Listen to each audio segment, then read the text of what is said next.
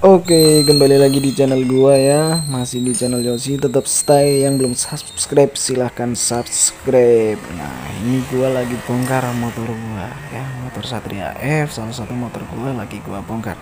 Kenapa gua bongkar mesinnya, kop mesinnya? Hmm, jadi ceritanya gini, gua punya uh, motor ini gua nyalain kalau langsamnya ternyata aman, tapi ketika ketika ketika nggak langsam kita tarik gasnya ternyata motor ini langsung mati dan gasnya nyendat nyendat nah jadi pikiran gue yang pertama adalah di kentengnya. Ada masalah di klepnya ya.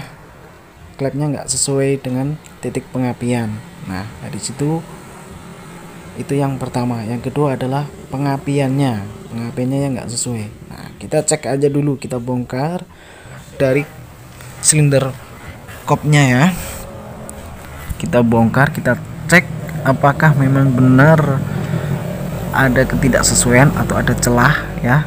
Sehingga topnya top setnya nggak sesuai. Nah setelah kita coba cek ya. Kita coba cek ternyata ya ternyata ternyata ternyata aman guys. Aman bro. Pokoknya aman. Nah ternyata kentengnya aman. Walaupun kentengnya memang sudah agak sedikit bunyi tapi ternyata masih aman. Jadi nokennya juga aman. Topnya sudah sesuai. Nggak ada yang geser ya. Hmm. kalau gitu kemungkinan yang keduanya adalah kiprok ataupun CDI kita coba ya. Tapi ini saya gue lebih prefer ke kiproknya ya kita coba cek kiproknya seperti apa. Nah kiproknya bisa kalian cek di bawah tangki. Nah untuk Satria F letaknya di bawah tangki ya. Nah itu bentuk kiproknya oke.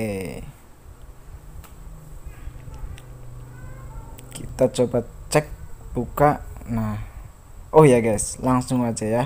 Ternyata setelah kita ganti pakai kiprok yang baru atau regulator ternyata bener masalah teratasi. Jadi kalau misalnya kalian ngalamin penyakit motor kalian ngalamin penyakit yang kayak motor gua kalian bisa cek kiproknya aja oke? Okay? tetap stay dan makasih ya udah nonton video video gue